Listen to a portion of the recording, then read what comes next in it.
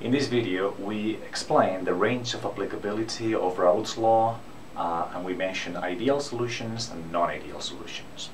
Okay, so Raoult's law controls the vapor pressure or how the vapor pressure of a liquid uh, or a solvent A changes when you add a solute B. Alright, uh, and there is a direct proportionality between uh, the vapor pressure uh, of that solvent in the mixture with the mole fraction of the solvent in the mixture, right? So the more solvent you have, the higher the vapor pressure of that solvent. The more solute you add, the lower the vapor pressure of that solvent. Now what we can do is actually then uh, uh, try to explain how this law um, applies to the entire range of possible concentrations. And the range of possible concentrations for a binary mixture of just two uh, substances, A and B, would be to go from no A to 100% uh, A, and from 100% B to no B. All right, so let's try to see if we can actually draw here how Raoult's law would look like for that entire range of concentration. We're going to be plotting here uh, the pressure, the vapor, uh, the vapor pressure of uh, those liquids A and B as a function of the concentration or the mole fraction of A and B. Right? Notice that this is a binary mixture, so what that means is that the mole fractions of A and B always have to add up to 1. Okay? So uh, let's assume that uh, right here we will have no A, and right here we will have only A. What that means then is that right here if we only have A, then there would be no B, and then here if we have no A, then we would have only B. Alright, so that's, uh, that's how this graph looks like. And here we're going to simply plot the vapor pressures of A and B. Okay, notice how uh, this line uh, works for A. Okay, so what we're going to draw here is, is the line of vapor pressures of A. Let's suppose that we have only A, right? There's no B present. Then the vapor pressure that you will have right here is what we call the vapor pressure of A when pure, right? At that point, because there's no B, there's only A, then the vapor pressure that you have is just the vapor pressure of A when pure. Let's go to the other range. Notice that if you don't have any A at all, then there can't be any vapor pressure of A. That vapor pressure of A should be zero, right? In the middle, uh, you have, there's a direct proportionality between the vapor pressure and the mole fraction, so this should be a straight line. And that is what we call Raoult's law. Okay, great. Now, uh, what will happen for B? Well, for B, notice that if you don't have any B at all, which is right here, uh, then there would be no vapor pressure of B at all. And if you only have B, uh, which we can put right here, okay, then that would be the vapor pressure of B when pure. Okay, in the middle you have Raoult's law, so that is uh, how this would look like. Okay, uh, notice that this is the line of vapor pressures for B, that is the line of vapor pressures of A. Okay, and that's of B. Now, uh, we can actually calculate what the total pressure, uh, uh, total vapor pressure of that liquid would be, A and B, when we have them together, right? The total pressure, PA and PB, and that is just the sum of these two lines, which is conveniently uh, traced by just uh, drawing a straight line in between those two points. Okay? Again, notice that this line simply tells you the sum of this and that at any point. Okay? Right, so notice that in this graph, all the lines are straight.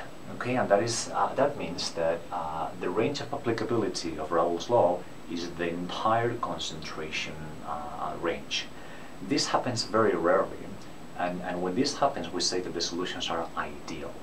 Okay, and, and these are the conditions under which you have ideal condition, uh, and the ideal solutions.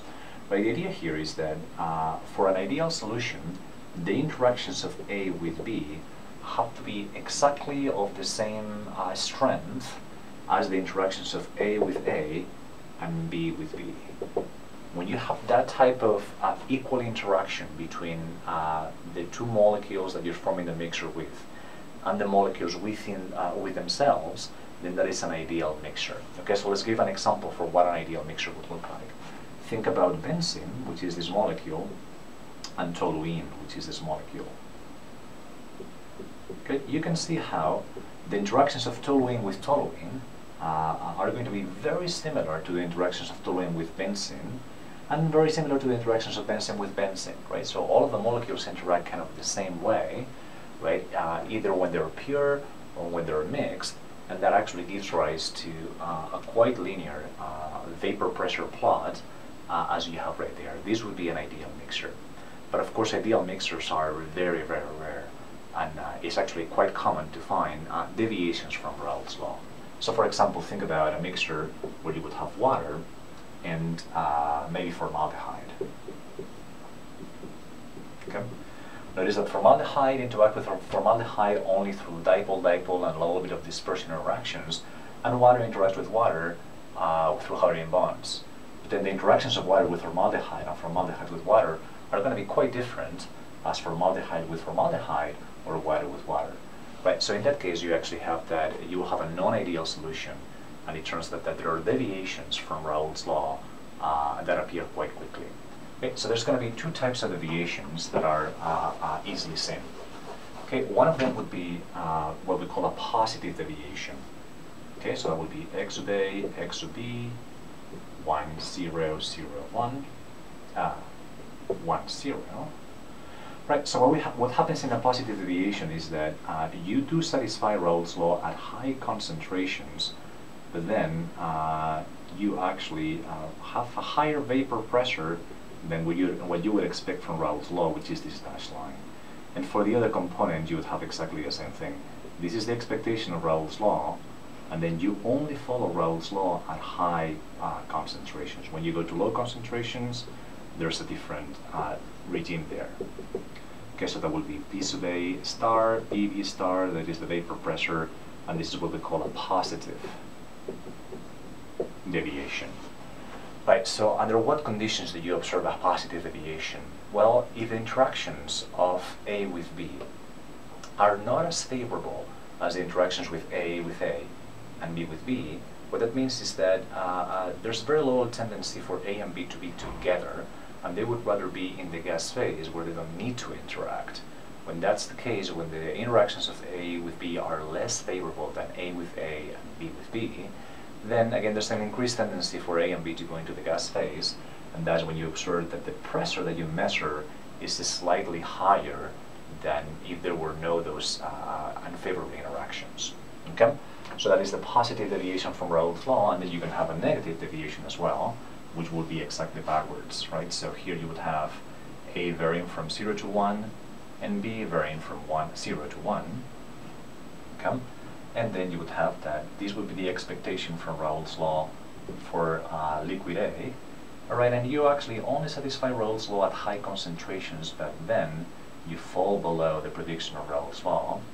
And then for B, that would be the prediction of Raoult's law. If the solution was ideal, in reality, you only satisfy that at high uh, concentrations of B, but then you fall below at lower concentrations. So that is still PB star, PA star, and then this is the vapor pressure. So that is a negative deviation, which is also rooted in uh, the way that A and B are interacting. So in this case, what happens is that A and B are interacting very strongly. And what that means is that they have uh, much less of a tendency to uh, go into the gas phase, which is what the vapor pressure is, right? So what has to happen here is that the interactions of A with B are stronger than the interactions of A with A and B with B. When that happens, you have a negative deviation, and that means that uh, the pressure that you observe is actually less than your prediction from Raoult's law. Notice that we could also trace here uh, Raoult's law total pressure, and then what you observe will be lower in this case. And here would be Raoult's law prediction, and what you observe right there is much higher than Raoult's law. Right, so in this uh, video we have explained a little bit about, uh, we have discussed the range of applicability of Raoult's law, and we've said that uh, when you apply Raoult's law for a binary mixture, uh, uh, ideality uh, would lead to these straight lines in the entire concentration regime. That happens very rarely because it requires equal interactions of A with B as A with A and B with B. Generally, that is not the case, and you either have a positive deviation where there's unfavorable interactions between A and B, and that means that there's a higher tendency for those molecules to go into the gas phase, or negative deviations in which A and B are strongly interacting in solution and they have less of a tendency to go into the gas phase.